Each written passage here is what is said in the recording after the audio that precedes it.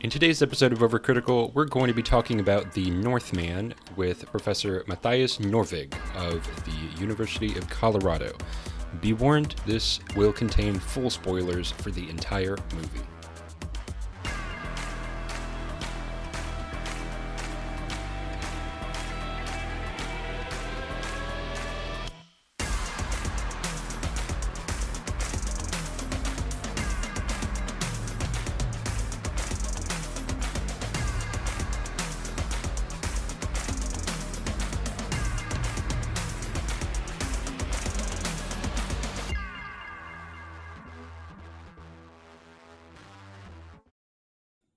With me on the show is uh, Mathias Nordvig. I'm pronouncing that right. Uh, he is uh, a professor of um, Nordic studies at the University of Colorado. Um, you have a PhD in the subject. You've written a lot about it, um, and from what I understand, you're uh, you're actually from the region as well. Mhm. If- yeah. So. Um, yeah, just uh, let's start out with a little bit of background on yourself. Sure. Yeah. Yeah. No, I uh, I've uh, written a PhD on Nordic mythology, um, mostly focused on how Nordic mythology in uh, Viking Age and medieval Iceland intersects with the environment, and in particular narrates experiences of volcanic eruptions in different ways. Hmm. Um, but aside from that, I also work with uh, modern and contemporary interpretations of uh, Nordic mythology and the use of the Viking Age in different ways. I've worked a little bit on a different um, sort of like uh, what you could call the the alt right interpretations and uh, and and uh, um, reception of uh, of uh, the Nordic mythology. I've all, uh, also worked with um, uh, and am working with uh, um, music in particular and how different types of like pagan or pagan-esque bands whatever you want to call them are are using nordic mythology in their music and uh, you know essentially being inspired by a um a, a, a fan base that is um that is like uh you know neo-pagan more or less like or neo-pagan leaning in their interests. And then uh vice versa also actually generating more and more media and culture around that subject in and of itself so those are some of the things that i have worked with and am working with over the years um so yeah Yeah, that angle about how um, Norse mythology interacts with um, the environment and like volcanoes, especially. Um, that's a really interesting angle to take on it. Um, Mm. I I did not get the chance to scroll through your dissertation. I'm not even sure if there's a copy available online. Um, uh, but uh, what was like your general argument? I guess I'm just curious about that because it's an interesting angle. Yeah. So first of all, um, um, it it's important to sort of uh, know that in in the study of Old Norse mythology uh, and pre-Christian Scandinavian religion, um, uh, there's been a dominating trend of reading myths uh, purely as, uh, as as social narratives. So basically, ignoring the physical world around the people who may or may not have been telling these stories to each other Yeah. Um, and um, and and I was essentially inspired by um, indigenous studies, and especially uh, studies on the meaning of place and the confluence between place and mythic narration in different ways in uh, Australia, New Zealand. Um, uh, Polynesia, uh, the the entire sort of like South Pacific, essentially, and so I started looking at um, stories that were in, in various ways narrating the experience of, of places and spaces in Hmm. in various um, population groups um, whatever I could actually get my hands on, more or less, uh, from from a you know a Scandinavian library, which is not Yeah. always the best, right, on on that kind of stuff, obviously.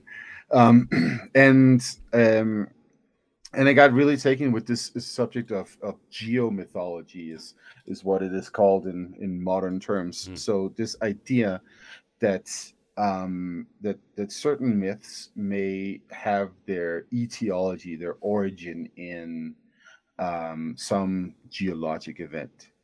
And this is where it gets a little iffy because we have a lot of baggage in, in Northern Europe Mhm. um, and in Europe in general when it comes to interpreting myths as as stories that are basically telling us something about the physical world in different ways. This is called nature myth- mythology.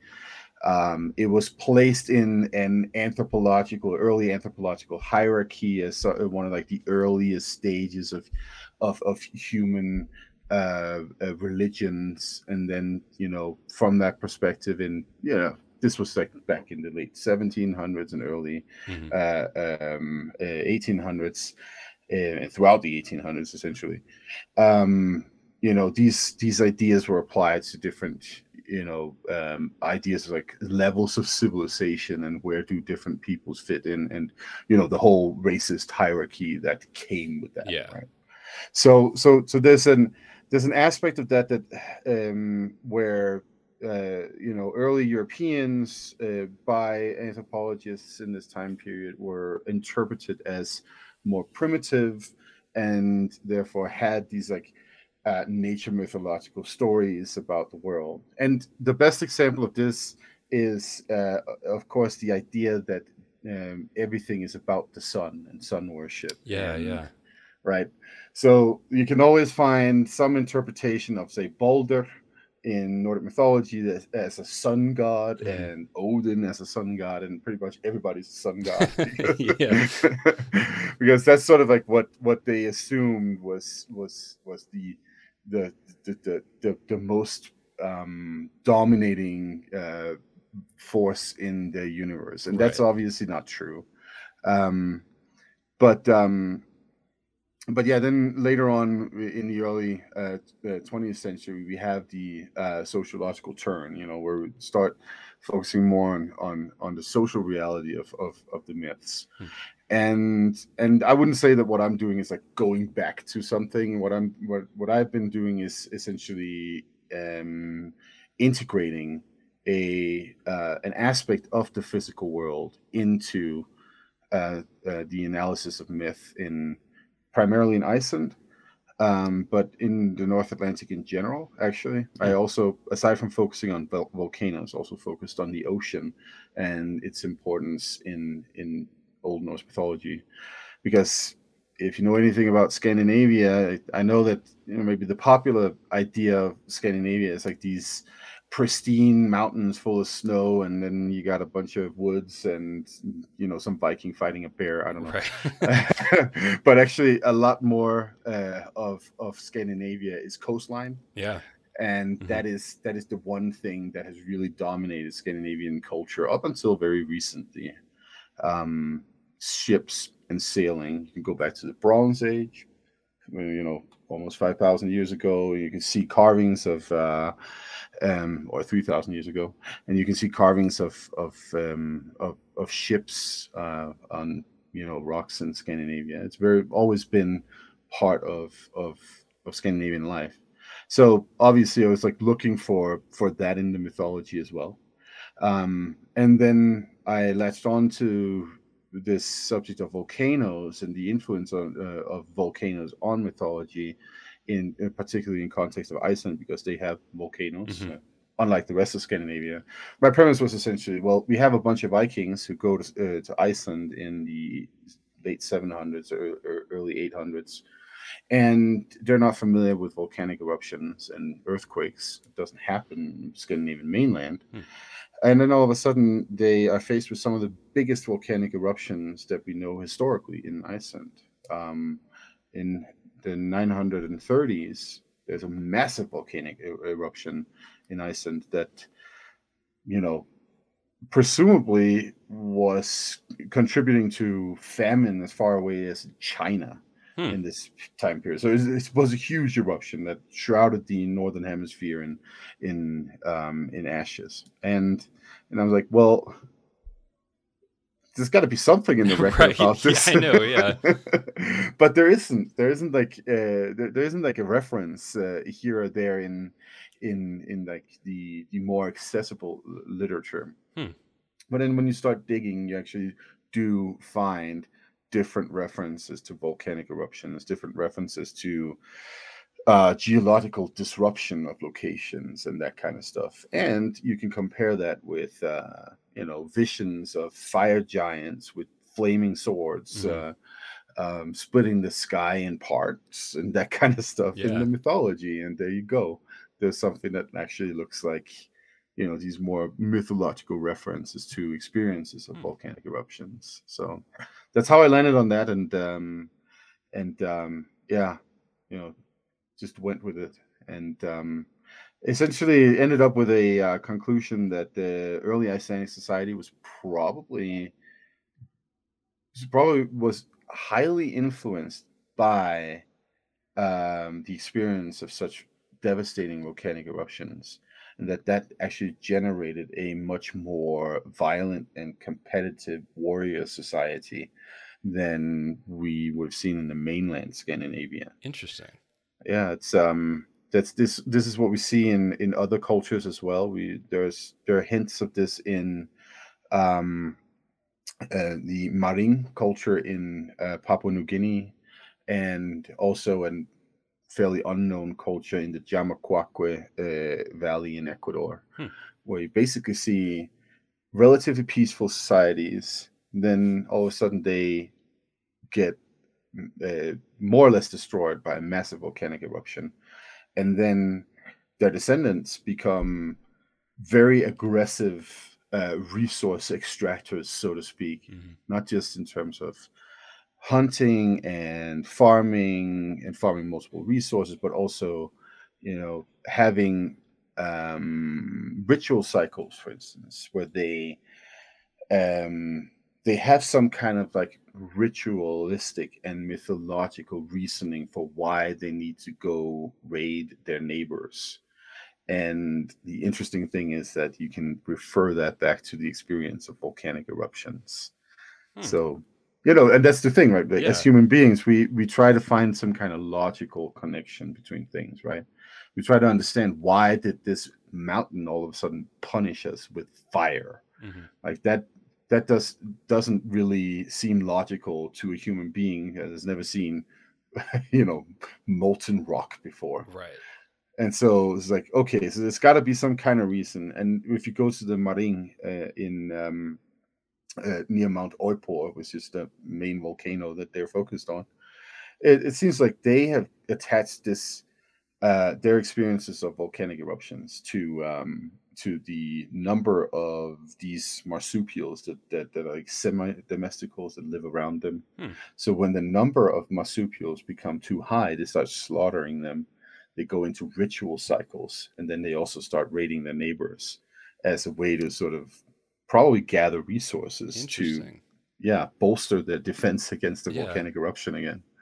So my theory is essentially that Icelandic society in in its early stages was something like this as well, where you had these very aggressive landholders who uh, um, aggressively extracted resources from their land and their neighbors, and this becomes a, a part of the social, the social fabric of Iceland to the extent that you go from this you know some call it a democracy but it was essentially an oligarchy where you have landholders who own land and also decide things at a general assembly. You don't have a king. But, you know, over time, the amount of landholders shrinks. And in the we start out with 40 something in in at least according to legend in the 900s when the general assembly is is founded um, and then we're down to seven in the early 1200s. Hmm. So seven yeah. families as opposed to 40 something. they definitely weeded out their competition. Yeah, for sure. Yeah, um, and like around the 1200s, would that have been, um, like around the time that the uh, Scandinavian areas were like starting to come into contact a bit more with like the more uh, Anglo Anglo-Saxon areas, or am I Oh, mixing that- that, up? Yeah, no, the the contact with the English area has persisted from at least the 400s or even before. So, so Oh, okay. um, yeah, I mean the uh, the Anglo Saxons originate sort of in uh, the southern parts of my homeland, Denmark. So, Okay. Um, but and and you know, th- there's it's this this is tendency to represent the Viking Age. It's like this age where all of a sudden Scandinavians discover the rest of Europe. Right. Yeah. Yeah. yeah. and that's not how it happened. Yeah. Right? there was plenty of of interaction. You know, go back to the, the the Bronze Age that I mentioned before, and you'll see that you know Scandinavians are trading with Egypt. So so Mm. there's there's plenty of contact uh, across the European continent. We just like this narrative of like all of a sudden these Vikings that just like burst out of the gates of Scandinavia and then start pillaging all over Europe. That's Right. not really what happened. Yeah. Yeah. And like, um, and like probably the first really big piece of Viking related media, like at least in the West, that has really contributed to this boom of Viking entertainment was the History Channel show Vikings, and um, I've only seen the first season, but that is like how the show starts out. Like you have Yeah. the uh, the main character Ragnar Lothbrok, uh, and he's like he's trying to convince everyone to c- come with him to explore more of the world, and you really get the sense that like they really have been very self isolated, but um, Mhm. yeah, I, I guess that's just not the case, and you see that like over and over again in these Yeah. uh, these uh, uh, I mean, Viking this stories. is because yeah, this is because the Anglophone interest in in Vikings mirrors the Anglophone colonization of North America, right? Hmm. Like this idea that there's a land to the west. Like I think actually Ragnar Lothbrok says this. there's there's probably a land think he to does, the west, yeah. right? And we should go there. And and this is th- this is how contemporary ideas of of you know white identity in, in North America are mixed in with the uh, representation and exploration too of of the, the Viking Age, right? Um, we know for a fact that, uh, as I mentioned before, the the Angles and uh, the Jutes were part of uh, the um, those who became the Anglo Saxons, right? And the Saxons are then uh, the other group. The the the Angles and the Jutes they come from what is like old Danish uh, core territory. I actually technically belong to that tribe called the Jutes myself because I'm from Jutland. And uh, they migrated over with the Saxons in the 400s, and then they established these uh, different kingdoms in what is now England. And um, they maintained relations and, and connections um, in different ways, very, very closely with the uh, Scandinavia up until they converted to Christianity in the middle of the 600s. Mhm.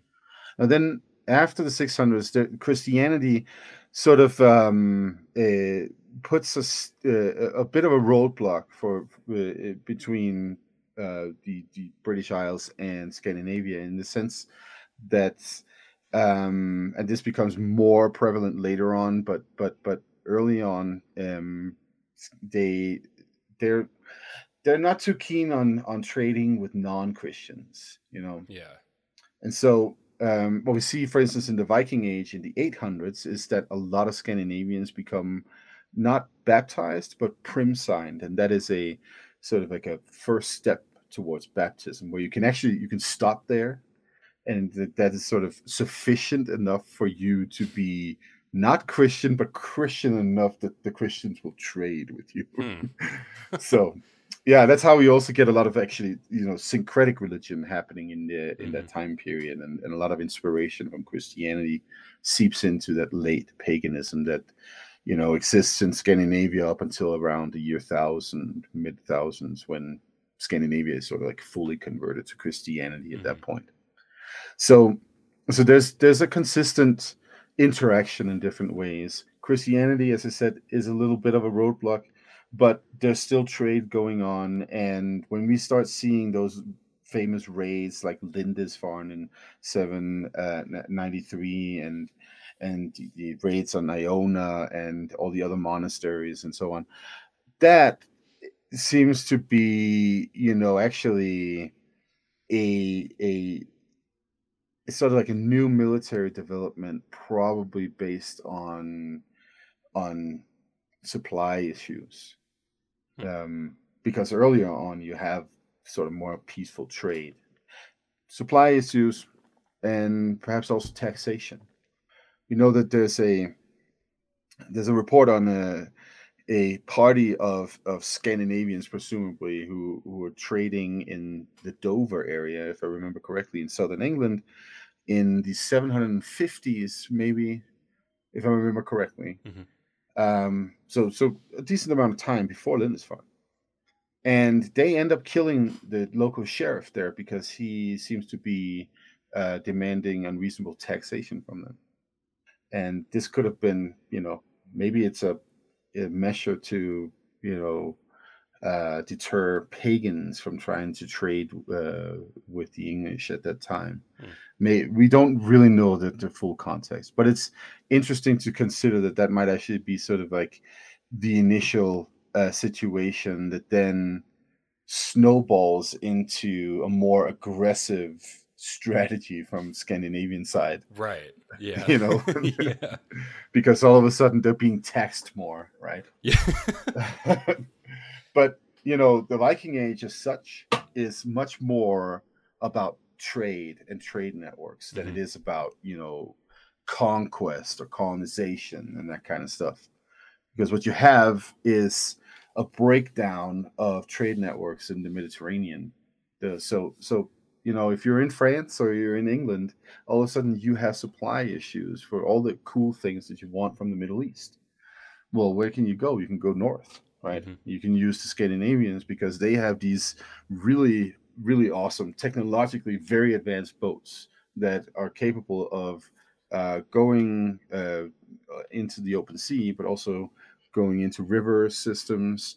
And you can even relatively easily uh, pick them up and then move them from one river to another, mm-hmm. which is what they're doing in, in in the Russian river systems. And so they, you you see how then you have a bunch of little magnates and chieftains and petty kings or whatever in the Scandinavian region, who are essentially just like amassing wealth to the extent where they can buy an entire army and then they can go conquer that place over there that they yeah. used to trade with which is exactly what they do in the middle of the 800s when mm-hmm. we have the so-called Great Heathen Army that culminates in the creation of the Danelaw, whatever that was. I mean, that was in some way or other a region where Scandinavians were allowed to settle, um, which we can see in the massive amount of place names in mm-hmm. in eastern and northern England. So so that's a bit of a rundown of the actual history behind the Viking Age that yeah. not you know, drenched in in contemporary ideology.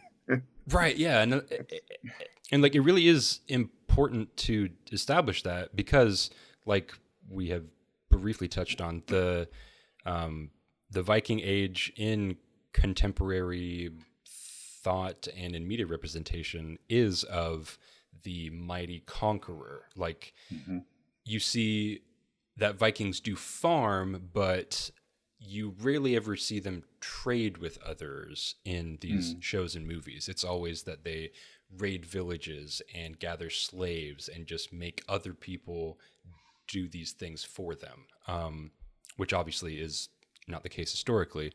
Um, and uh, you can see how that does contribute to like the um, sort of far right myth making of like the um, the strong man, the strong conqueror who is uh, capable of going to other places and taking what they want, but also capable of defending against invaders um, mm-hmm. as well. Um, and so uh, that is what I found a bit interesting about the Northman is that it it hewed a lot more closely to actual historical fact than a lot of other Viking um, uh, media has, at least to my understanding. Um, I know that the uh, the director Robert Eggers, like he really went out of his way to try to get um, as historically accurate as possible. Of course, he is not hundred uh, percent, of course, but um, the that is what I found interesting is that how it kind of subverts those myths a little bit, um, subverts those expectations that we have come to see about uh, Viking media, um, mm-hmm. like the big raid scene that we see in the uh, uh, the trailer and the one shot of Alexander Skarsgård drenched in blood and like he's got this huge six pack and he's got the two axes in his hand. Like that's the peak like Viking image. But mm-hmm. that scene only lasts maybe five minutes, and for the rest of the movie, his character Amleth has like a dopey bowl cut, and he's like mm-hmm. in like these rags, and like you don't really see his muscles anymore, and like he's still strong, but like he's he's been turned into a slave. He's not a strong conqueror anymore. He's been conquered. Um, yeah, so I'm uh, assuming that you've seen the movie yourself as well. Mm-hmm. Yeah. Uh, so, what did you think of it? So I have. I, I think you're you're very right about what um, like this. There's a of all the Viking fiction that you can find out there, this is the one that comes closest to elements of a historical reality. And I say elements of a historical right. reality because there's some there's some parts of it too that you could criticize heavily mm-hmm. for for being uh, weirdly ahistorical or just like improbable. Like spoiler alert, the showdown, the, the the naked showdown on the volcano. Right. Yeah. Like, like, I mean, that that was like that really annoyed me because I'm like sitting there, like their skin would have like fallen off at this right. but but you know, uh, this is one of the the great qualities of, of Robert Eggers as a director. He um when he makes historical fictions of some kind, he does a lot of intense research. And this is what I really loved about The Witch, for mm-hmm. instance. Um, he had even in that movie used um, uh, um, uh, like I think it was court documents and, and folklore to to create some of the dialogue, like which is just like really cool. Yeah. And in the same way, he he did a, a lot of research and worked with some really good historians on on this uh, um, uh, on on all this research. Uh, for instance, archaeologist Neil Price and uh, Johanna Katrin Fredriksdottir from uh, um, the University of Iceland um, to to to to create a fiction that is believable at least from the point of view of of, of saga narratives mm-hmm. as we know them, the stories that were written about you know Vikings, right? Um, so so what we see is is for instance um, a lot of sort of uh, religious um, scenery um, that that comes very close to what I, as as as a scholar of this stuff, would say this is this is historically believable. This this is something I can get down with. Um, and also, you know, uh, things that have to do with power and the power of of of the magnates mm-hmm. and in the, the early scenes in the movie where you see them all assembled in the hall and they're holding up their rings as as a token of their loyalty to uh to the king or chieftain or whatever he is right so that all of that stuff I I I really enjoyed. I really also enjoyed the um the the the costumes and the jewelry and so on. Um, like nerdy detail, for instance, when they're down in that you know underground hole beneath the uh, um, the the temple where you know this it's this initiation ritual where they're mm-hmm. supposed to be like the, the, father and son they're like you know pre- pretending to be wolves or yeah, yeah. animals of some kind we just get a glimpse of these little golden foils that are like lying in the dirt um, beneath them. And those are the so-called gullgubbar um, that's that's um swedish norwegian word that means golden dude because he's it, it's the, these little uh, they're not they're smaller than a stamp um, golden foils usually with a little warrior or a man or a woman huh. or an animal or something imprinted on them. And you find them all over scandinavia from the viking age and from before the viking age as well.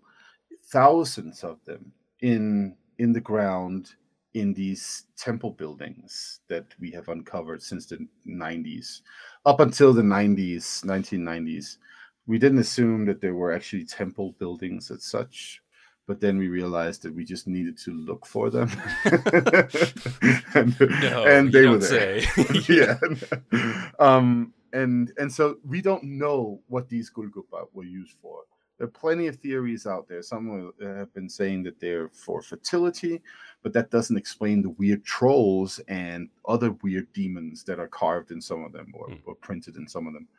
So we don't actually know. But in that movie, we get a scholar's best bid on how they were used. Like they they they are in that space where they're doing this initiation ritual. In that same scene, we also have quoting from the Hávamál, right? this long, long poem about Viking ethics that is presumably recited by Odin himself. So historically, very, very awesome. Like if you ask me, I think that's so cool. Um, and I would also say, knowing a little bit about the um, the uh, um, the other people that have been involved with this movie, we have the author Sjón, Icelandic author um, who's written multiple books and movie manuscripts. Um, he has also left his distinct mark on this movie. Um, he's the author of a, a, really cool, actually one of my favorite stories called "The Blue Fox," um, and well, lo and behold, there's a blue fox in this uh, in the movie oh, as really? well. Yeah uh, shows up in iceland uh, of course. And the blue fox That's right. In, yeah. Yeah. Yeah yeah thinking about it. I think it was at nighttime too so like it was a bit hard to see that uh yeah. like the color but yeah wow huh. Yeah it's a i mean the the, the bluish uh, coat is simply an arctic fox when it's you know summertime right so, oh yeah, so that, yeah that's what it is yeah okay. but the the the funny thing is that this story that uh, he's written uh, called Blue Fox, which I strongly recommend that anybody reads, um, is about witchcraft and it is about uh, sort of like deep magic in Iceland. Mm-hmm. Um, it's sort of like a typical magical realism story back when that was like a, a, a fancy thing you know, the life of Pi and all that stuff. Right. Yeah. that was that was like a brief moment in, in, in movie history too, I guess. Yeah, we need to go back to that. Some yeah. of it was really cool. Mm-hmm. You know, um, Lars von Trier's Antichrist, the great example of cool magical realism. So I still haven't seen that, although I hear that uh, Willem Dafoe, who's also in The Northman, is mm-hmm. uh, just stellar in that movie. He is. He is. It's a great movie. Yeah. Really, really cool so yeah i mean um is it these the qualities of of the director the manuscript uh, authors these scholars the producers all come together and and make a really interesting movie? And um i guess the, my my uh, main criticism about it is that it is still so focused on violence you know in so many ways, this is still just the narrative that we're we're talking uh, we're giving about Vikings. That that that that's what they can do, violence, mm-hmm. and it's you know I. so to us Scandinavians, the Viking Age is a time period where our countries become countries. Right. So for my country in particular, in Denmark, we at the height of the Viking Age, we become Christianized mm-hmm. or converted to Christianity. And there's a huge monument in the middle of Denmark for that, raised by a Viking king, right? The so-called Jelling Stone. Uh, doesn't mean anything to do with yell, but yeah, the location is Jelling. It's a small small town nowadays. Uh, this this Viking king named Harald Bluetooth, he built a sort of like palace structure, um, complete with palisades and a huge Viking hall and burial mounds, you know, for his father and and then he put up this huge stone where he carved an image of Christ uh, of Christ on one side, um, and then he carved runes that said that uh, he had now converted the, the, the Danes to Christianity, and he had conquered Norway. Is also something he claims on that stone. so that's the 960s when he raises this stone. Hmm. Um, you know, 30 years later, you have another Viking king who converts Norway to Christianity, and there are rune stones that are raised to commemorate uh, some of that as well uh, on Kuli in in Norway, mm-hmm. and um, in the same way in Iceland, you have the foundation of Iceland, you have the foundation of the General Assembly, and so on. So to us Scandinavians, the Swedes are a little iffy. They're they're a little later with some of these things mm-hmm. and not so coherent as a country uh, uh, in in this Viking era that comes a little later for them. But but still still the same time period essentially, same type of culture that exists and generates what then becomes the medieval culture, which we as Scandinavians consider the basis for our modern culture in many sure. ways. Okay, so consider that for a second. Consider if um, if you as an American, you uh, you know, look back to the founding of your country in the, 1770s, uh, the Revolutionary Wars, um, George Washington, and all that stuff, and you were like, "This is." This is what I come from. This is uh, this is my identity, and then you know uh, everybody else in the entire world represents that time period as a bunch of half naked psychopaths. like, I mean, I mean, I don't know. I, like, if you watch Mel Gibson's The Patriot, it's not far off, you know. No, like, it might be true. but Mel Gibson isn't really a, a font of historical knowledge. Yeah yeah but but but but you see what i mean right it, yeah it's it's it's a uh, for scandinavians the viking age is like a civilizing moment and for everybody else it's something to project their uncivilized fantasies onto hmm. right and and that's that's just a little curious right it's yeah. just a little weird um and and what we see in that Viking age, right, in that time period, is that Scandinavia goes from being the outer rim of Europe to becoming included into the European community in a sense, right? With Christianity, but also with various types of institutions, mainly based on Mediterranean culture, uh, that, like, you know, monasticism, for instance. We get monasteries, mm-hmm. we get hospitals, we get um, royal power, all of this stuff that we now refer to as Europeanization in context of the Viking mm-hmm. Age. Mm-hmm. So the Scandinavians become Europeanized, and and that's a significant moment. This is the time period, or this is the situation where you take sort of like the biggest civilizational leap um, in in Scandinavian history. The only one that is bigger is the industrialization and, and modern age, mm-hmm. right? So, so so so that's a very very different perspective on what the Viking Age actually is. Yeah. And then what we always see is, is these narratives. They tend to just like focus on a bunch of axe throwing and and, and abs. yeah. well, like, and it's interesting to say that in the context of the Northman too, because if I'm not mistaken, uh, this story is um, like the original myth that William Shakespeare would end up basing Hamlet off of.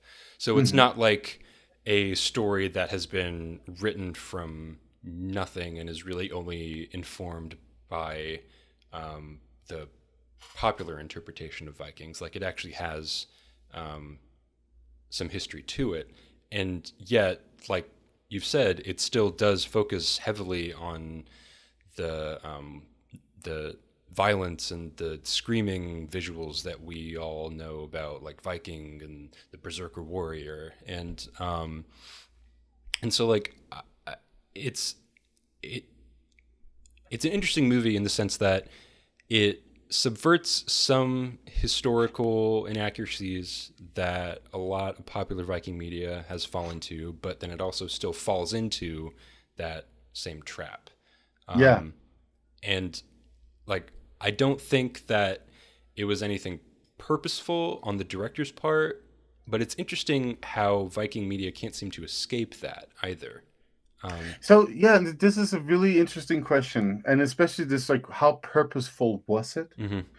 Um, because again, the uh, uh, the original story about Amleth is from uh, Saxo's history of the Danes, and you know, presumably, uh, Amleth's original grave is like right down the road from where my mom lives. Well, all right. yeah. So it, Saxo, uh, this Danish historian who's writing in the late 1100s Mhm. uh, and early 1200s, he he gives us a story about a uh, a, um, a a young prince who is disowned by his uh, his uncle, right, who kills his father, and then this prince uh, plays uh, stupid or or or insane, and so that's how he escapes being killed by his uncle himself. Mhm. Then he um, is sent off to his uncle's as family members or, or buddies, I can't remember, in England. And he comes over there with a little rune stick where the uncle has written on it uh, or carved in it, he, uh, "Kill, kill him when you meet him." Mhm. But uh, Amleth is smart. He, you know, cuts off these runes and then he writes some other runes about how they should, uh, uh, I don't know, give him an army or something like that. Then he tours the English countryside, uh, um, vanquishes some Scots, I think it is, and then you know eventually comes back and, and gains the, the kingdom and all that stuff. Mhm. Um, and and it's set in Denmark and England, and um, there are theories about how this was originally an Icelandic story, but there's like really no evidence that it was. Um, so so you have to ask yourself, if you know anything about Danish geography, you know first of all that there is nothing awe-inspiring and Viking about it. It's um, it's kind of like Iowa with a coastline. You know, nice rolling hills. Um, really, really beautiful beaches in in many ways, at least in the summertime. Um, and then you know a little bit of forest here and there and marshlands Mhm. but not that you know icy rocks with with a blizzard in the background Right. and all that stuff that you see in the movie right so in the movie the northman the setting is more sort of like norwegian northwest coast Mhm. right and the only the only part of, of of Scandinavia and the Viking world is that was historically part of the Viking Age, right? Uh, that isn't mentioned is actually Denmark. we have a reference to Sweden. We have Russia, right? Huh. I guess England is also not really uh, relevant at any point. And then, of course, they end up going to Iceland Mhm. uh, at the end. And so that uh, my point here is that you can find a um, is sort of a um, more or less uh, word for word, scene for scene uh, um, remake of Saxo's original story in Royal Deceit with Christian Bale from the 90s, I think it is. It's a it's a it's a cool historical movie because it's so uh, trying to be so historically accurate Mhm. and and true to the original story. Uh, but it's also incredibly boring for that same reason, right? so, so um, my, my, my point is here that um, that what we're seeing in the Northman is that some probably some very deliberate uh, uh, choices have been made to play into this Viking stereotype. The Viking stereotype is always some dude uh, dressed in in some kind of skin, Mhm. uh, standing on a icy, stony northern coast somewhere with this uh, stormy uh, uh, North Atlantic Ocean and and and and all that stuff, and then you know, then he ends up fighting people on a volcano. well, you literally just described one of the promotional materials for the movie. Uh, uh, yeah, yeah, I guess like it's Amleth is standing with his back to the camera, like he's silhouette. He's on a cliffside looking at the ocean. He's got axes in his hand. I think he might be wearing the skin that he briefly wears. Um, and yeah, like that's literally what you just described. So Yes, right. yeah. And that plays that that's the stuff that plays into the Viking stereotype. Mhm.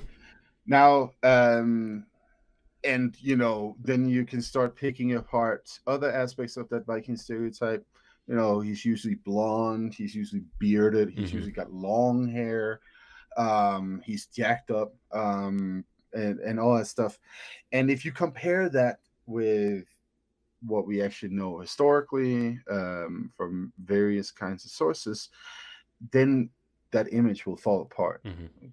genetically, for instance, we have uh, confirmation that um, plenty of Vikings were a lot more dark haired, and actually, uh, the Viking Age is the time period where Scandinavians are mixing more and more with uh, Southern Europeans and Oh yeah. people from Asia Mhm. and and so on. We have, you know, literary reports on non-white Scandinavians too. Um, so so there is a presence of we, we can't say say exactly if they are from you know maybe from Africa or Asia, but there is some presence of non-whites in Scandinavia in the Mhm. Viking Age, and that's nothing. That's something that you never see really. Right. Actually, there is a little bit of it in in, in Vikings. There's a there's a you know some some some someone is from China at some point. I think.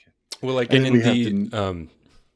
Oh yeah, I think you were about to talk about the new one. Uh, Yeah, yeah, Vikings Valhalla, Yeah. where you have this uh this what is it, she's black actress, right? yes. Um, Yeah, Like I'm not sure, like specifically where her character is from, but yes, I do remember Yeah. hearing like a, like there's this huge controversy among it with the fans because like there was no such thing as black Vikings, and like you heard the same thing with like The Witcher and like that Mm. casting where you had actors of color in certain roles, and it's like, Which this is essentially completely a fantasy universe. exactly like- exactly like that's the thing that you're picking a bone with. Yeah. So, um, yeah right. no so so when it comes to the subject uh, uh, i mean obviously we we can perhaps not assume that there are many uh, uh, non-white Sure, individuals yeah. in Scandinavia at the time period, but there is something to indicate that that, that there was some here and there, Mhm.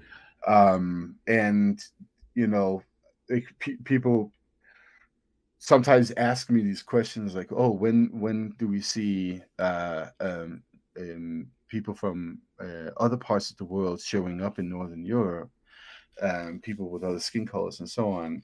And I, what I usually tell tell people who ask me those kinds of things, uh, uh, I say, "Look, there's always been a non-white population in Europe.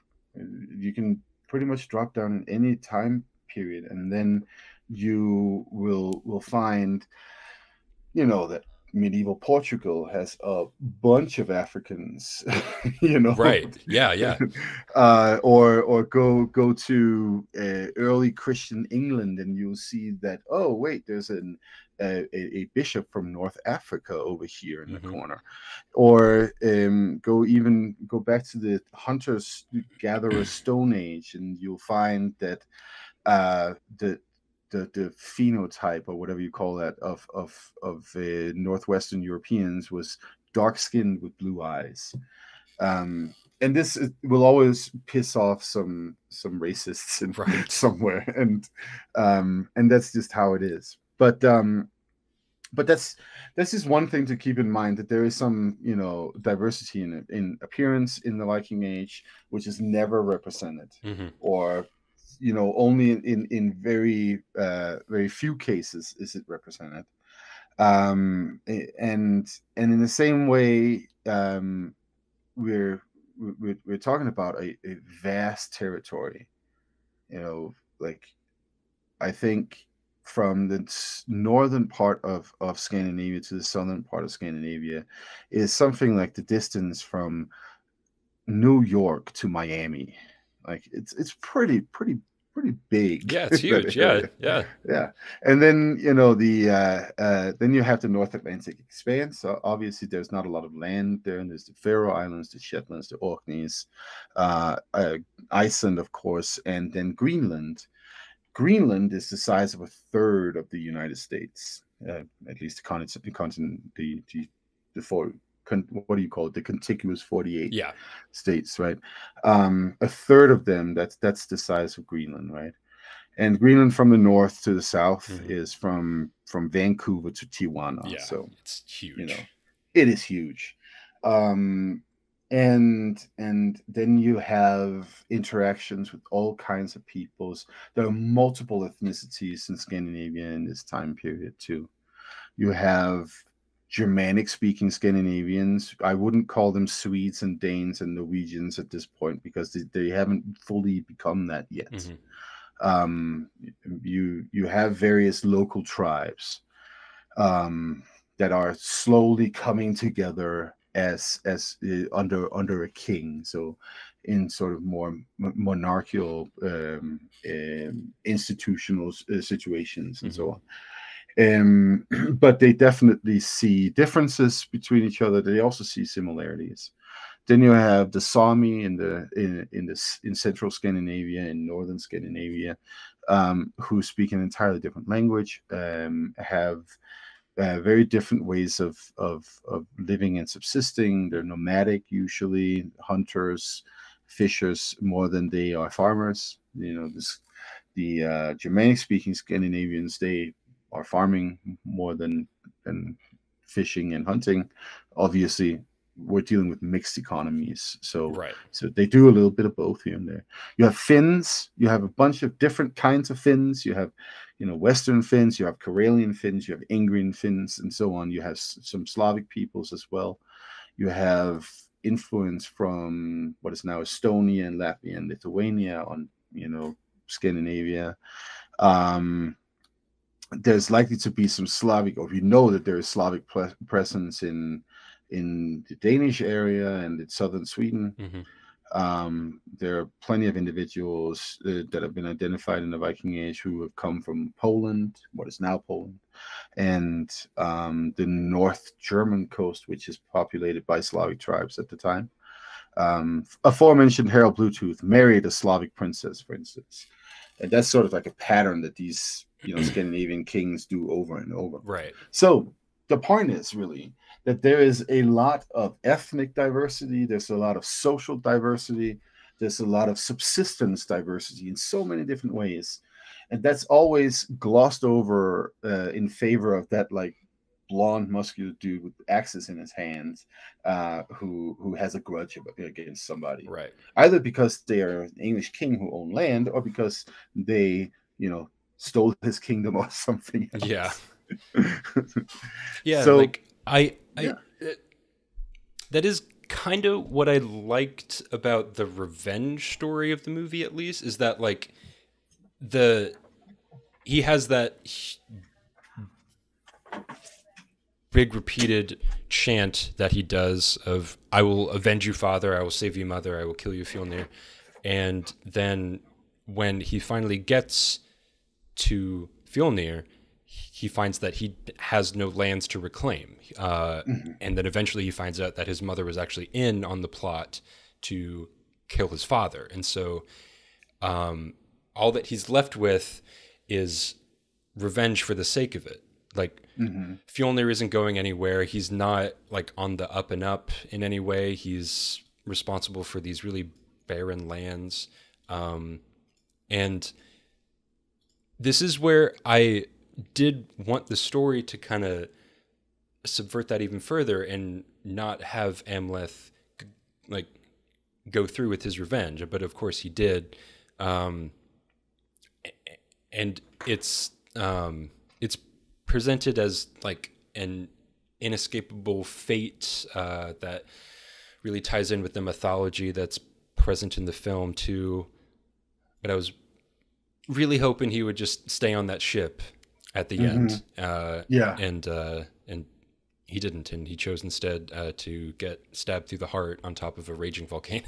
so, yeah, um, No, this th- this is a good point, and this is where the movie does sort of like have a another um a- another point to make Mhm. about all of this, and this is I I think this is where we see sort of like the influence of like Icelanders being very familiar with their own literature as well, because you know. uh you know, it's it's when we read the sagas, we tend to miss the point.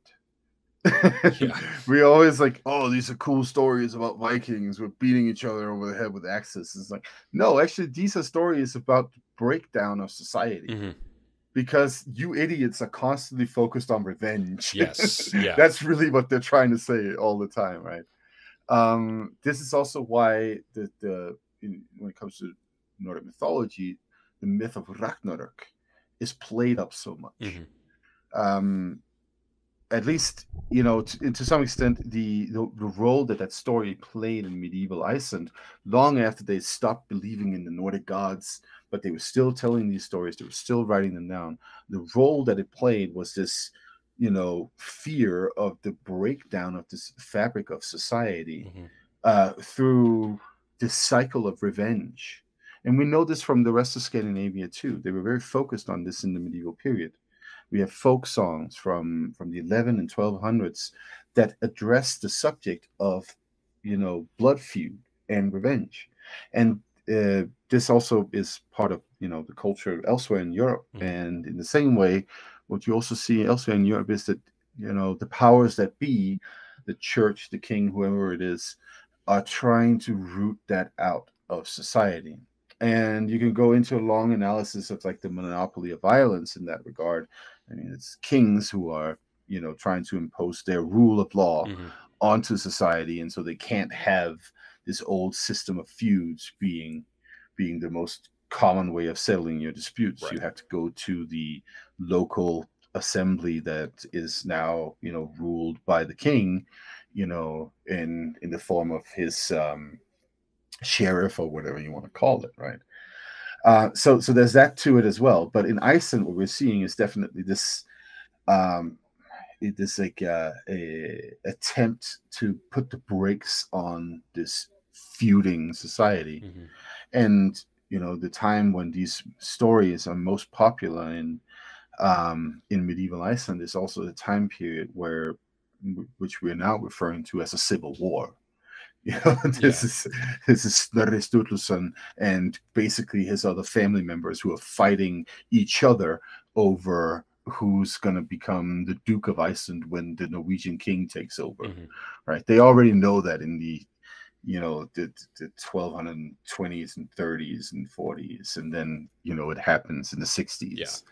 So, so um, when we go to the movie, what we see is is sort of like the same message, same message is that you know you you're not not really gained anything from this, you know, vengefulness, this this this um bloodthirsty feud like you all you got was you killed a bunch of people and you got some awesome imagery out of it right. i mean it does look cool when they're fighting on the volcano It does. It does. That was a really uh, visually interesting way to to have a final duel. Uh, it it actually kind of reminded me of the final duel in the Star Wars Revenge of the Sith between oh yeah yeah yeah.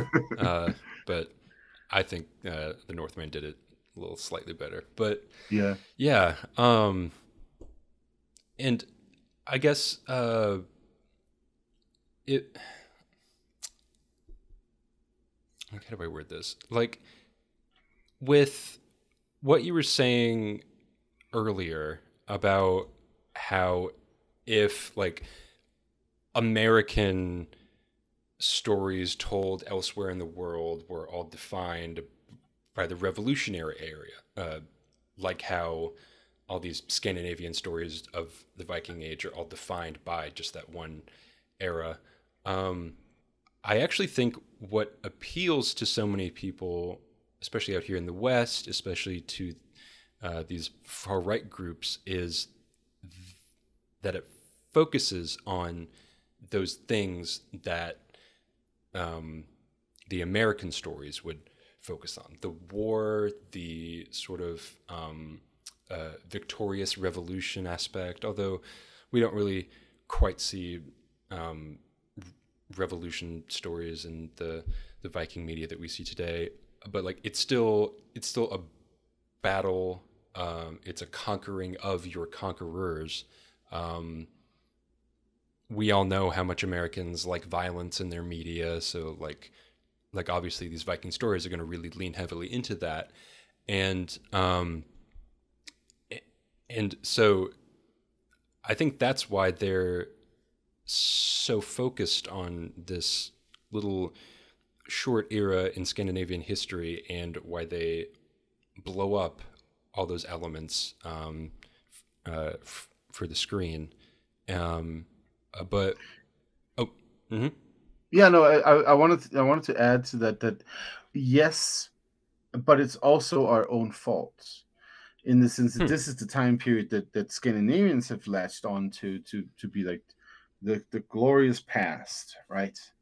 And it's kind of weird that that is the glorious past because you know if you look at the Dano-Norwegian Empire, the glorious past was more you know in in in like the the just the 1700s like and if you look at well i mean the, you can always debate when when was the height of an empire. Sure yeah. But, but and it's the same with the swedes that the swedish empire was also pretty pretty damn big and cool and and all that stuff in in the 16 and 1700s so so it's like it's a it's a very deliberate choice to to to hold up this particular time period and say this is uh, this is this is the time period that that defines us and and it's the coolest part of our history mm. right?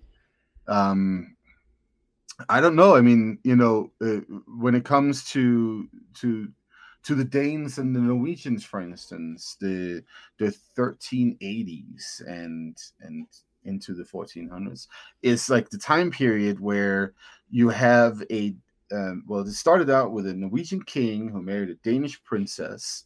Then the Norwegian king ends up dying, and the, the Danish princess ends up becoming uh, the uh, queen of Denmark and Norway. And then the Swedes are like, well, let's try to invade. And then they thoroughly get their asses kicked. and then then this this this queen Queen Margaret the First, ends up ruling what is essentially geographically the largest country that has ever existed in Europe right? Yeah. So it's like Denmark, Norway, Sweden, Finland, uh, parts of the Baltic, and like Iceland and the Faroe Islands, the Shetlands, the Orkneys, and Greenland. Like it's a huge, geographically huge area. That yeah. This, and it's like nobody's focusing on that period. It's like that was when we were really cool. like right. it has to be yeah. the, those like Vikings that were like 500 years earlier, right? Mm-hmm.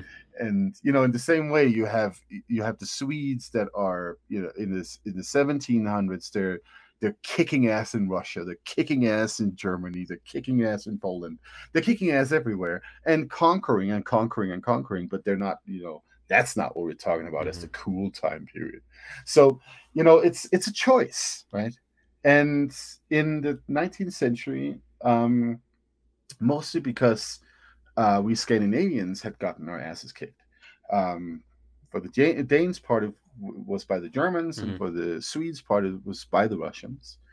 And then you have these emerging states like Norway, you know, becomes an uh, well, it gets gains an, a constitution under Swedish rule mm-hmm. in 1814, um, transitioning from be, having been part of the Danish uh, kingdom and then gains its independence in 1905. You have Iceland that um, is cultivating an independent identity from the Danish kingdom from the early 19th century and especially in the 19 uh, 20 sorry 1830s mm-hmm. and 70s it goes up and down in these waves and then finally it becomes realized as as a, as a sovereign uh, state in 1918 and becomes an independent republic in 1944 and this is of course really important time periods for these different countries. And what they always like look back to is that the viking age mm-hmm. like, that was when we were most powerful. And so so that's that's also part of cultivating um the viking as like the sort of like the the emblem of the independent and rugged individualist scandinavian mm-hmm. And yeah. that is what is really appealing yeah. uh, in an American context, right? Because Absolutely. it sort of mirrors the cowboy in many ways. Yeah. That's an interesting comparison I never heard before. But yeah, I mean, um, like, especially if you take the, um, like, the rugged explorer Viking, you know, they are also traveling west across the ocean. The cowboys and those settlers were traveling west across the American landscape. Um, yeah, that's an interesting comparison yeah. I've never heard before. That's a great connection. And I mean, historically, both populations also interacted with Native Americans. Right. Yeah. Mm-hmm. yeah. So, so there's there is that. We know very little about how those interactions actually played out for the Vikings. Mm-hmm. Obviously, we know a lot about how it, it, it, played out for Europeans colonizing this continent. Otherwise, uh, outside of the Viking era. Um, so so th- there's that as well. Um, and there are plenty of American myths about Viking ships in the Mississippi mm-hmm. and runestones, if, you know, in the Midwest and and so on. And you know, it's always like, where do you find them? Well, you find them where there's like a Swedish population that grows in the 19th right. century. Yeah. like, go figure. Yeah, you'll find it there. Yeah. Yeah. It's funny. Um, yeah, and I guess like how much do you think that choice of saying this is our golden age, like how much do you think that is influenced or affected by um, what happened um, in uh, the World War II era with the Third Reich and how the Nazis kind of co opted Norse mythology and symbolism and then for today with the far right continuing that trend. Like, why do you think that with all of that baggage, it's still looked at as like the golden era? Like, is it an attempt to sort of reclaim that from the far right, or are there elements of of um, some parts of Scandinavia sort of leaning into that with the far right? Um, so this is this is a very uh, interesting and complicated history. Uh, you start with the Brothers Grimm in hmm. the uh, uh, in the late 1700s and early 1800s. Uh, um, we have uh, in the 1700s a movement to define what it means to be German in in the the German Empire mm-hmm. at the time and in scholarship, what this becomes is, of course, also a pursuit to find the German identity historically.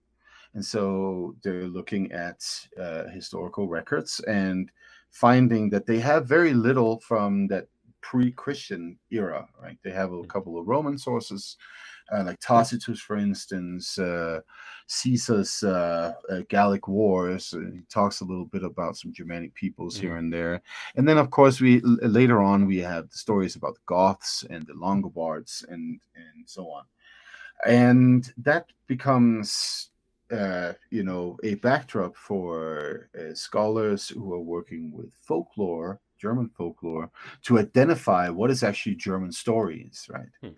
And what they're mostly focused on is to like uh, weed out German from Romance, right? Right. So, so, so, so. Oh no, this this is a French version of Little Red Riding Hood. we can't have that. You know, that's the kind of stuff that's happening. And uh, of course, what we are also seeing is is, is that oh, some of these uh, folk tales they actually have uh, comparable elements to sagas, to Scandinavian folk tales, to uh, Old Norse mythology as well, and that's why, uh, you know, Jacob Grimm then is writing his Deutsche Mythologie, Teutonic mythology, right, Mm. uh, which is essentially based on Old Norse material more Mhm. than anything else. And that becomes an important cornerstone in German self identification throughout the 19th century. Now, then it gets really specific because what we also have is the uh, uh, the predominantly German Austrian kingdom in the late 19th century, where you have uh, 10 million Germans, I think it is. The other big um, uh, population group is is about 5 million Polish. Mhm. You have 3 million Czechs. A bunch of Slavic groups, a couple of like Italians here and there, and some some some some Slovenians and you know Hungarians, and then there's like a, a tiny population of Jews um, who are being blamed for everything, of Right. course, because it's Europe, and and you have some Romani as well. Um, that uh, I think some people will know as gypsies, even Mhm. though that that's not a term that we use for them Right. um so so so in this and and you know what i would any any any american who's kind of worried about the current political situation in this country i would strongly recommend that you look into the history of late 19th century austria because it's so so comparable Hmm. you have um this these this like intensified german identity well, that is usually coupled with protestantism but actually gets a neo-pagan component to it with uh, certain thinkers or whatever you want to call them. Mhm. guido von list for instance. And guido von list is uh, is is responsible for modern runic divination. He comes up with that based off of an, another racist uh, madame blavatsky's uh, um, writings on the secret doctrine Hmm. Madame Blavatsky invents New Age, and uh, her New Age uh, mumbo jumbo is this idea of like these stages of, of of human development, spiritual development, set in a racist hierarchy, um, where the Aryans are some of the most important Mhm. ones, and they come from the up there in the north, right? And so, what does Guido von List do? Well, he reads her her book, and and then he goes, well, the Aryans, that's us Germanic people, and we have the runes, Mhm. and the runes were actually like the main conduit to uh, Uncle Odin, who is like our spiritual uh, powerhouse Right. right? And that has like direct influence on the emergence of the Nazi Party Mhm. in the iteration that Hitler creates it in. Um, there's there's even indications that Hitler's swastika, um, or I would say that there's plenty of evidence that Hitler's swastika actually comes from this New Age movement theosophy Mhm. um, that um, that Guido von List turns into Ariosophy, um, with reference to the Aryans that he believes are like the original Germans and Germanic peoples, right? Mhm. And so this is also why you get that you know Scandin- fascination with Scandinavians uh, and Norse mythology in the Third Reich uh, during the Nazi era, but it's also important to just mention that the way that we perceive this today is strongly overblown compared to what it actually was back then. And we, for instance, have uh, so uh, a uh, less awesome thing about my country's history and the Norwegian history, for that matter, is that we were some of the biggest contributors to the foreign SS uh, during World War II. Hmm. So uh, Denmark sent, I think it was like twelve thousand uh, SS soldiers uh, to fight in the Eastern Front. Mm. And um, some of the reports that you get back from these uh, SS soldiers is that they're actually incredibly um, uh, disappointed with the education that they're getting in Germany because the the Germans are focused on you know their ancient emperors and all that stuff, you know, uh, Barbarossa and and so on, right? And there's very little Viking involved. So they're sitting these Scandinavians, they're sitting there. It's like, where's our Viking heritage? Hmm. Um, and the Germans, of course, don't care about that Right. because they're building a German empire. Yeah. um, but the Scandinavians are sort of like held up as as as the the last remnants of of the Aryan race, and particularly the, the Norwegians, right? Mhm. Um, which is why you uh, also find, you know, the Lebensborn project to to create a, a future Aryan race, right? Mhm. Where where where they're literally like you know, hand picking blondes in Scandinavia Right. for that. Yeah. Um and and so so you have that sort of use of runes and use of some uh, uh Norse mythology uh elements here and there in the Third Reich that is essentially resting on a deep history of of attempts of of creating a German identity um, through the late 1700s and throughout the 19th century, right? And obviously, the Scandinavians are doing the same thing, inspired very much by the same ideas and so on. Mhm. And this is also why, you know, the Viking Age, in that sense, is manufactured as an era um, of of identity making that um, that that defines who we are, right?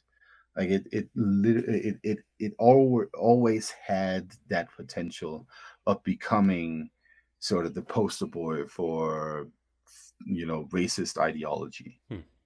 And so, so, so that's that's probably why it's still part of that mythology on the far right in in America and in Europe, and you can even go to South America and you can find, you know, racists with uh, these like attachments to Vikings. Yeah, yeah.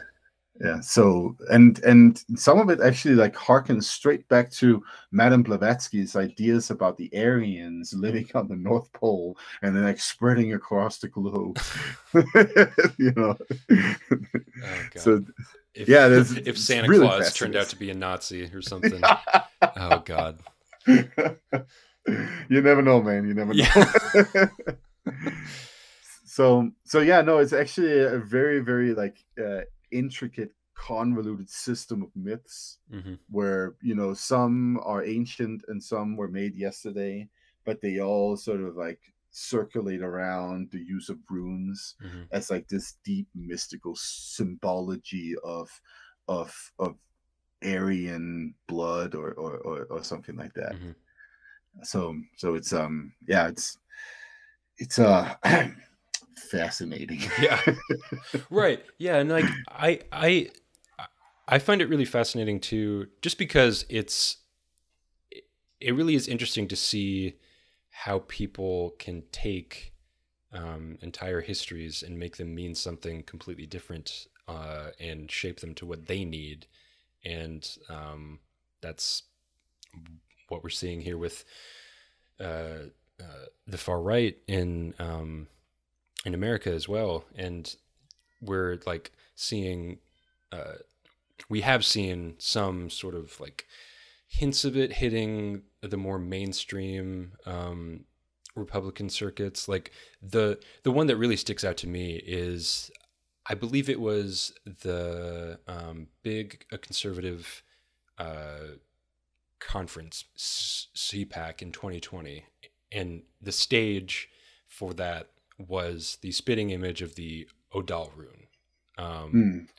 which uh, has famously been used by the Nazis and the SS, but also, of course, has a history before that. Um, Yeah, so, so there's a couple of things that are, that are I've actually written a uh, blog post about this. Hmm. Um, it's not the Othal rune as such. It is a uh, um, it, uh, what was it? The Yugoslavian SS used uh, a sort of like a a reinterpreted version of it that the it's got bent prongs and you know that yes. was never used in the uh, in in the history uh, of of of the use of runes okay. it's yeah, very.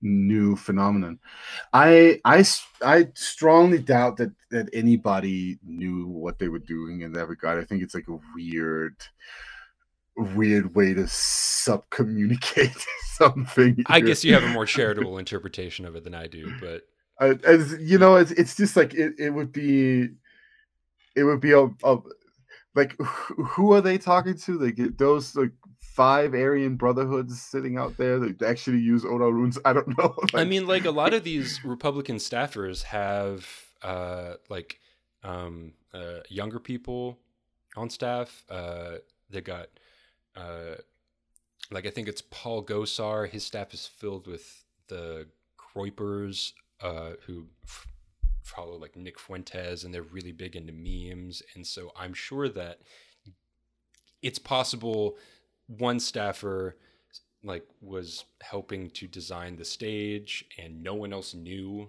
what this meant, mm-hmm. but like it was just kind of like a, a a little like inside joke on their part. But like you said, it could have been entirely a coincidence. It's just like it was one of those things that it, of course, got a lot of news articles written about it, and everyone yeah. was like really mad about it on Twitter. Um, and uh, it certainly could be a problem if it's an actual dog whistle, but I'm sure that there are a bit uh, more pressing matters uh, in the rise of the fascist movement here in America than stage shapes. But yeah, um, yeah. it's just something I found interesting yeah it is it is interesting like if if it if it actually is that intentionally then it's you know then then i'm like wow what the hell what what's going on right man? yeah it's worrying if um, it's intentional for sure yeah yeah that, it's more than worrying man mm-hmm. it's, it's like really really yeah. like it's it i mean it it's like that that that would be I don't even know what to compare it to because it would mean that that there's like this like tiny esoteric group, so to speak, in in society that has like managed to to take over so much of the symbolism and and politics of, of a huge national party, which I just I I don't know I, I I'm I'm a little skeptical about that. well, right, yeah, like if if you're not careful, you can go like full Illuminati on this, uh, just like looking for symbols and stuff that really isn't there, and obviously that's not good um, because not everything is controlled by any small group of five people, either right or left, you know. But mm-hmm. um, yeah, uh, it, it, uh, like I said, it is one of those things that like I think it may have been intentional, but at the end of the day, it's not a big deal. Um, mm-hmm. Yeah, yeah, uh, yeah. But um, yeah. So, um, I guess the last thing that I wanted to ask for today, uh, because I'm looking at a time and we have been chatting for a while. Uh, yeah. And I've loved this. I've learned a hell of a lot. Um, I'd love to be in one of your courses. Uh, but um, I guess the last thing I wanted to ask is if if I were to make a a Viking story now, or if I was Robert Eggers during the production of The Northman, um, how can I make a better Viking story? Like, how can I still explore that era if I find it so fascinating without falling into the many traps of um, of violence and historical inaccuracy that we have seen a lot of these mm-hmm. fall into?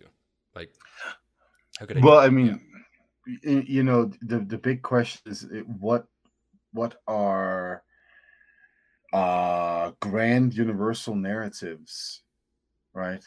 I, I think that's where we need to start. We need to, to ask ourselves what are relevant stories to tell the modern public. Mm-hmm. um, just like Shakespeare did. He asked himself that, right?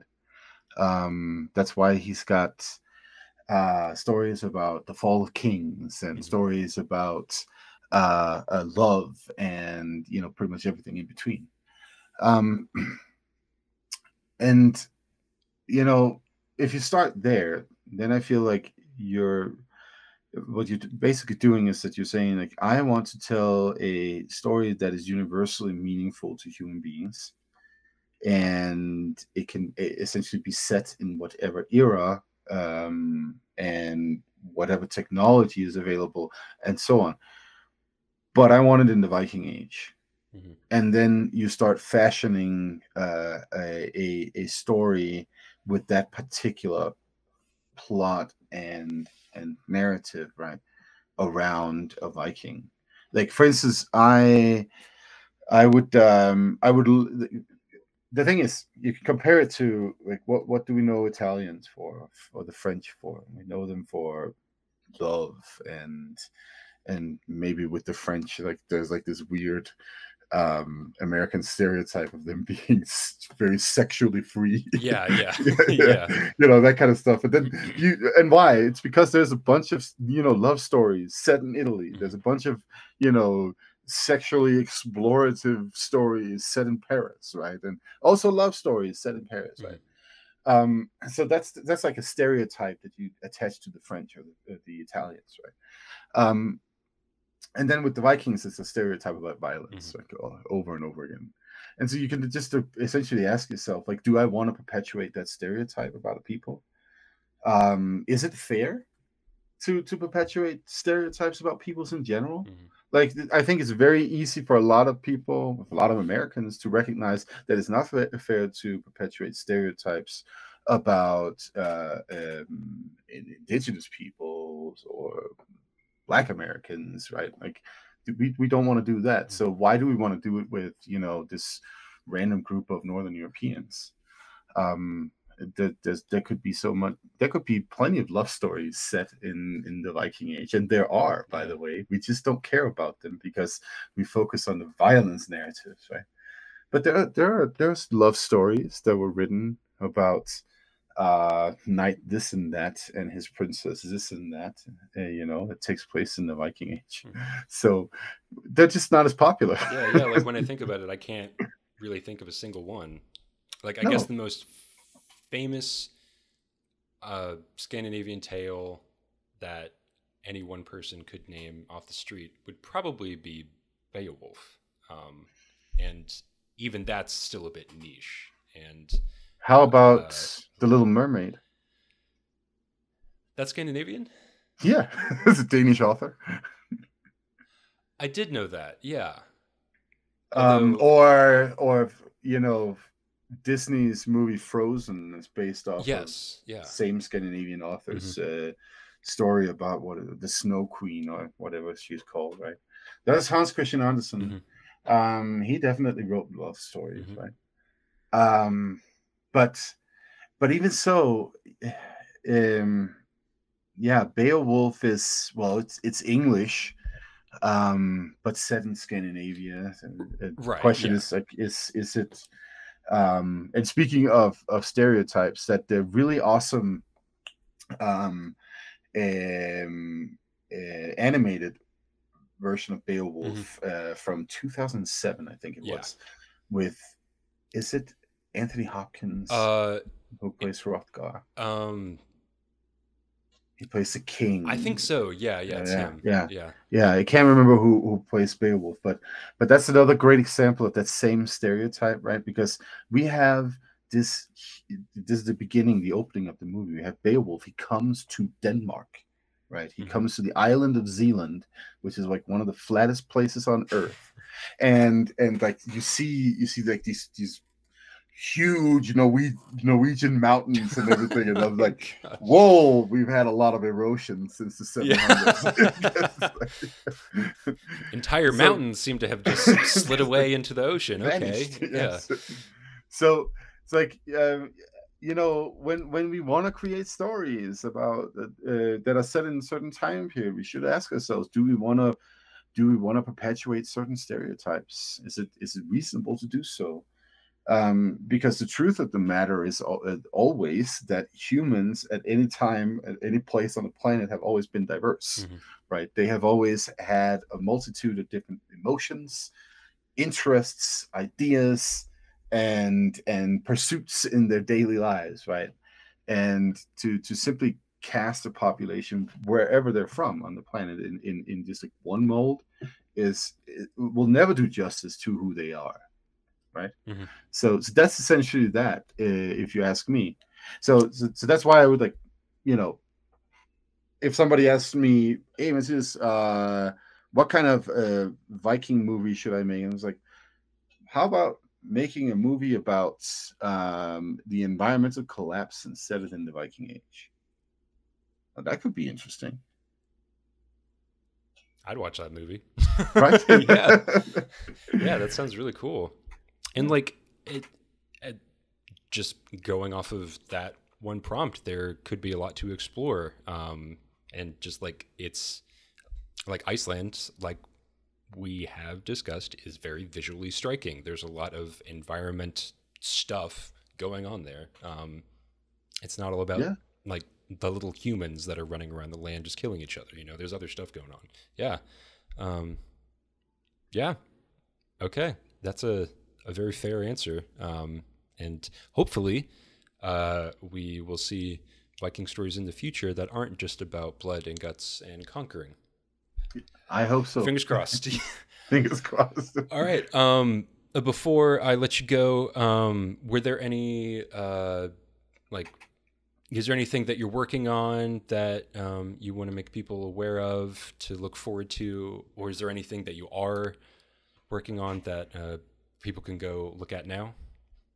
Well, I mean, you can always uh, listen to my podcast, the Nordic Mythology podcast, that I do with uh, Daniel Farrand, uh, the owner of the company Horns of Odin out of England. Um, you can find my research. Some of it is on academia.edu. Others you can find at the library or Google my name and you'll find something. some some list of stuff that I've published. Um, and uh, let's see what else. I, I do a lot of different things. If you are uh, like myself into heavy metal, you can uh, uh, find me at uh, this year's Midgårdsblot festival in Norway, uh, where I will be doing, uh, among other things, lectures. Um, they have they have a whole like section for like just scholarly talks about the Viking Age and stuff like that. Hell so yeah. yeah, so that's pretty cool. Um, and let's see what else. Um, uh, oh yeah, I've I co-founded a company with uh, a couple of friends in Seattle, where we uh, do eco-sustainable publishing. Oh, sweet. Yeah, so you can go check out our website. We we're still, you know, in the very early stages. You know, we have some products that mm-hmm.